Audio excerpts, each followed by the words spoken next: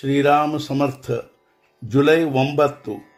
ನಾಮ ತೆಗೆದುಕೊಳ್ಳುವ ನಿಶ್ಚಯ ಮಾಡಬೇಕು. ಯಾವುದು ದೃಶ್ಯವಿರುತ್ತದೆಯೋ ಅದು ಇಂದಲ್ಲ ನಾಳೆ ನಾಶವಾಗುತ್ತದೆ. ದೃಶ್ಯವು ಸ್ವತಂತ್ರವಾಗಿರುವುದಿಲ್ಲ. ಅದು ಭಗವಂತನ ಅಧೀನವಾಗಿರುವುದರಿಂದ ಜಗತ್ತಿನಲ್ಲಿ ನಡೆಯುವ ಪ್ರತಿಯೊಂದು ಘಟನೆಯು ಭಗವಂತನ ಇಚ್ಛೆಯಿಂದಲೇ ನಡೆಯುತ್ತದೆಂಬುದನ್ನು ನಾವು ತಿಳಿಯಬೇಕು.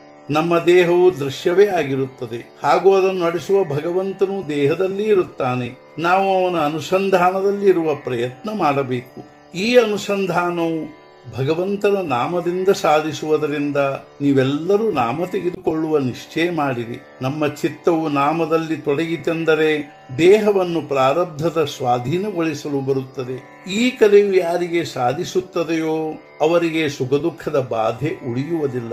ಸಂತರು ಕೂಡ ತಮ್ಮ ಪ್ರಾರಬ್ಧವನ್ನು ಅನುಭವಿಸಬೇಕಾಗುತ್ತದೆ. ಆದರೆ ದೇಹ ಬುದ್ಧಿಯೂ ಇಲ್ಲದ್ದರಿಂದ ಅವರಿಗೆ ಅದರ ಸುಖ ದುಃಖವಾಗುವುದಿಲ್ಲ ವ್ಯವಹಾರ ಮಾರ್ಗದಿಂದ ನಡೆಯುತ್ತಿರುವಾಗ ಭಗವಂತನ ನಾಮವನ್ನು ಎಂದೂ ಮರೆಯಬಾರದು. ನಮ್ಮ ಪ್ರಯತ್ನಕ್ಕೆ ಸಿಕ್ಕ ಫಲವು ಭಗವಂತನ ಇಚ್ಛೆಯಿಂದಲೇ ಪ್ರಾಪ್ತವಾಗಿದೆ ಎಂದು ತಿಳಿದು ಅದರಲ್ಲಿಯೇ ಸಮಾಧಾನ ಹೊಂದಬೇಕು. ನಾವು ಪ್ರಾಪಂಚಿಕ ಮನುಷ್ಯರಾದ್ದರಿಂದ ಪ್ರಪಂಚದಲ್ಲಿ ಯೋಗ್ಯವಾದ ಪ್ರಯತ್ನ ಮಾಡದೇ ಇರಬಾರದು. ಆದರೆ ಪ್ರಪಂಚವೇ ನಮ್ಮ ಸರ್ವಸ್ವವೆಂದು ತಿಳಿಯದೆ ಅದರಲ್ಲಿ ಭಗವಂತನನ್ನು ಮರೆಯಬಾರದು. ಪರಮಾರ್ಥಕ್ಕೆ ಸದಾಚಾರವು ಅತ್ಯಂತ ಅವಶ್ಯವಿರುತ್ತದೆ. ಸುಮ್ಮನೆ ಯಾರ ಉಪದೇಶಕ್ಕೂ ಮರುಳಾಗಬಾರದು. ಹಾಗೂ ಅನೀತಿ, ಅಧರ್ಮದ ಮಾರ್ಗದಿಂದ ಹೋಗಬಾರದು.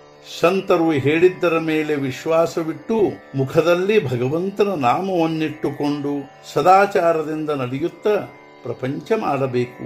ಈ ರೀತಿ ಯಾರು ನಡೆಯುತ್ತಾರೋ ರಾಮನು ನಿಶ್ಚಿತವಾಗಿ ಅವರ ಕಲ್ಯಾಣ ಮಾಡುತ್ತಾನೆಂದು ವಚನ ಕೊಡುತ್ತೇನೆ. ಬಹಳಷ್ಟು ಜನರಿಗೆ ಪ್ರಪಂಚಕ್ಕಾಗಿಯೇ ದೇವರು ಬೇಕಾಗಿರುತ್ತಾನೆ. ನಿಜವಾಗಿ ಇವರೆಲ್ಲರೂ ಇಂಗು ಜೀರಿಗೆಗಳ ಗಿರಾಕಿಗಳಾಗಿರುತ್ತಾರೆ. ದೇವರಿಗಾಗಿ ದೇವರು ಬೇಕು ಅನ್ನುವವರು ನಿಜವಾಗಿಯೂ ಕಸ್ತೂರಿಯ ಅಪೇಕ್ಷೆ ಉಳ್ಳವರು ಇಂಥವರು ಭೆಟ್ಟಿಯಾಗುವುದೇ ಇಲ್ಲ. ಗುಣವಾಗದೇ ಇರುವ ರೋಗಿಯನ್ನು ಗುಣಪಡಿಸುವವನೇ ನಿಜವಾದ ವೈದ್ಯನು. ಅತ್ಯಂತ ವಿಷಯದಲ್ಲಿ ಮುಳುಗಿದ ಜನರನ್ನು ಮೇಲೆತ್ತುವವನೇ ನಿಜವಾದ ಸಂತನು. ಅವನ ಹತ್ತಿರ ಹೋಗಿ ಕೇವಲ ನಾನು ಶರಣು ಬಂದಿರುತ್ತೇನೆ ಎಂದು ಅಂದರೆ ಸಾಕು. ಅವರು ಉದ್ಧಾರ ಮಾಡುತ್ತಾರೆ. ಈಗಿನ ಹಾಗೂ ಹಿಂದಿನ ಪ್ರಪಂಚದಲ್ಲಿ ಅಂತಹದೇನೂ ವ್ಯತ್ಯಾಸವಿಲ್ಲ. ಆದರೆ ಮೊದಲಿನ ಜನರು ದೇವರನ್ನು ಮರೆಯುತ್ತಿರಲಿಲ್ಲ. ಇತ್ತೀಚೆಗೆ ಜನರು ಅತ್ಯಂತ ಸಂಕುಚಿತರಾಗಿರುತ್ತಾರೆ. ಮೊದಲು ಹಳ್ಳಿಗಳಲ್ಲಿ ಸ್ವಾಭಾವಿಕವಾಗಿ ಒಬ್ಬರಿಗೊಬ್ಬರು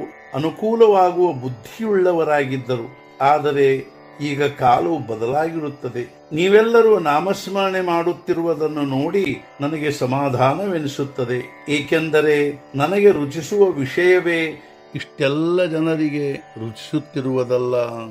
ನಾನು ಹೇಳಿದಷ್ಟನ್ನು ಮಾಡುವ ನಿಶ್ಚಯ ಮಾಡಿರಿ. ಯಾವುದೇ ಚಿಂತೆ ಮಾಡಬೇಡಿರಿ. ನಾನು ನಿಮ್ಮ ಭಾರವನ್ನು ತೆಗೆದುಕೊಂಡಿರುವೆನೆಂಬ ನಿರ್ಧಾರದಿಂದ ಆನಂದದಲ್ಲಿ ಪ್ರಪಂಚ ಮಾಡಿರಿ.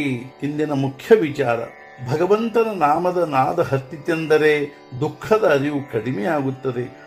ದುಃಖದ ಅರಿವು ಇಲ್ಲವಾಯಿತೆಂದರೆ ದುಃಖ ಇದ್ದರೂ ಆಗುವ ಹಾನಿ ಏನು? ಸದ್ಗುರುನಾಥ ಮಹಾರಾಜ್ ಕಿ ಜೈ. ಜೈ ಜೈ ರಘುವೀರ ಸಮರ್ಥ.